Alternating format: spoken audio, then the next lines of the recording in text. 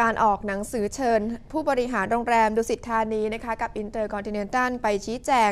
กรณีให้ที่พักพิงกับผู้ต้องหาคดีก่อการกรบฏอย่างนายสุเทพเทือกสุบรรณค่ะ ก็ทำให้ผู้ชุมนุมเพิ่งรับรู้ว่าที่ผ่านมานะคะ ผู้นำของพวกเขาไม่ได้ร่วมทุกข์ร่วมสุขอย่างที่ประกาศเอาไว้บนเวที ติดตามจากรายงานของทีมข่าว DNN ค่ะ หากศูนย์รักษาความสงบหรือศอ.รส.ไม่ออกหนังสือเรียกผู้บริหารสองโรงแรมดังระดับ 5 ดาว คือดุสิตธานีกับ Intercontinental มาชี้แจง กรณีให้ที่พักกับผู้ต้องหาคดีก่อการกรบฏ อย่างนายสุเทพเทือกสุบรรณพร้อมกันนำม็อบประชาธิปัตย์ระหว่างการชุมนุมชัดดาวกรุงเทพตลอด 3 เดือนที่ผ่านมา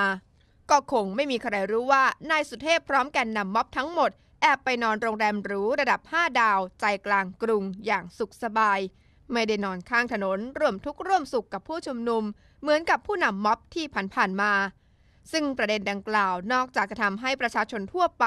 รู้สึกเหนือความคาดหมายแล้ว ยังทำให้ผู้ชุมนุมเองคาใจถึงพฤติกรรมของแกนนำไปอีกนาน โดยเฉพาะการไม่ยอมร่วมทุกข์ร่วมสุขกับผู้ชุมนุมตามที่ได้ประกาศเอาไว้ซึ่งการชุมนุมตลอด 3 เดือนที่ผ่านมา นายสุเทพ อุตสาห์สร้างภาพผ่านสื่อกระแสหลัก อย่างฟรีทีวี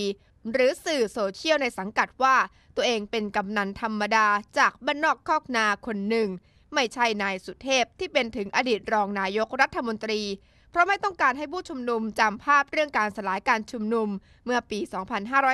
2553 จนมีผู้เสียชีวิต 99 ศพ บาดเจ็บพิการอีกกว่า 2,000 รายซึ่งเป็นภาพลักษณ์ของนักการเมืองที่โหดเหี้ยมอำมหิต และกำลังใช้ม็อบเป็นเกราะกำบังหนีสารอยู่ในขณะนี้ หรือไม่ใช่นายสุเทพที่เป็นอดีตรัฐมนตรีช่วยว่าการกระทรวงเกษตรและสหกรณ์ในสมัยรัฐบาลในชวนเลีกภัย ที่เอาที่ดินคนจนอย่างสปก4ขีด01 ไปแจกให้กับเศรษฐีในทุนในจังหวัดภูเก็ต ซึ่งเป็นหัวคะแนนหรือพักพวกของตัวเอง จนรัฐบาลนายชวนต้องล่มสลายไปในที่สุด จากการอภิปรายไม่ไว้วางใจ ก่อนจะถูกศาลสั่งยึดคืนที่ดินในเวลาต่อมา แต่นายสุเทพพยายามสร้างภาพลักษณ์ใหม่ว่า ตัวเองเป็นกำนันธรรมดาจากบ้านนอกคนหนึ่ง ที่ต้องเสียสละมาเดินย่ำต๊อกขอรับเงินบริจาค ซึ่งก็ทำให้คนกรุงเทพจำนวนหนึ่งที่ไม่รู้เท่าทันหลงไปตามกระแสที่สื่อในเครือข่ายนายสุเทพสร้างขึ้น โดยเฉพาะการจัดฉากให้ผู้สนับสนุนมายืนต้อนรับ และบริจาคเงิน แล้วให้ช่อง Blue Sky และ Free TV ถ่ายทอดสด ซึ่งใช้วิธีการเดียวกับวัดชื่อดังแห่งหนึ่ง แถมนายสุเทพกับแกนนำปราศัยย้ำบนเวทีทุกวันว่า จะสู้รบเคียงบ่าเคียงไหลกับพี่น้องประชาชน ที่อุตส่าห์ทนรกรรมลำบาก นอนกลางดิน กินกลางทราย ไม่หลบหนีไปไหน แต่พอปราศัยเสร็จตอนหัวค่ำก็มีคนเห็นนายสุเทพและแกนนำแอบเดินทางไปพักผ่อนที่โรงแรมหรูระดับ 5 ดาว พร้อมด้วยสิ่งอำนวยความสะดวกระดับมหาเศรษฐีจนมีบางคนแอบนำไปตั้งฉายาว่าม็อบนายสุเทพเป็นม็อบกินแบล็ก ปล่อยมวลชนของตัวเองที่ส่วนใหญ่เดินทางมาจากภาคใต้ ต้องนอนอยู่กลางถนนยามค่ำคืนทำกลางเสียงปืนเสียงระเบิด ที่คนกลุ่มหนึ่งต้องการสร้างสถานการณ์ เรียกแขกให้ออกมาร่วมชุมนุม หลังคนน้อยลงทุกวันทุกวัน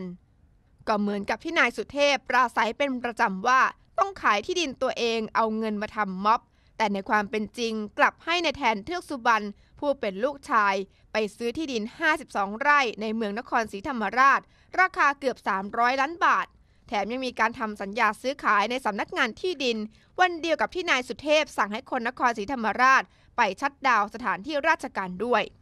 นั่นหมายความว่านายสุเทพห้ามคนอื่น ไม่ให้ไปใช้สถานที่ราชการ ยกเว้นนายแทนเทือกสุบรรณลูกชายของตัวเองเท่านั้น ที่เข้าไปทำสัญญาในสำนักงานที่ดินได้ ยังไม่นับรวมเรื่องที่แกนนำม็อบประชาธิปัตย์ถูกอายัดบัญชีทรัพย์สินทุกคน แต่ทายาทนายสุเทพ กลับมีเงินสดเกือบ 300 ล้านบาทไปซื้อที่ดินได้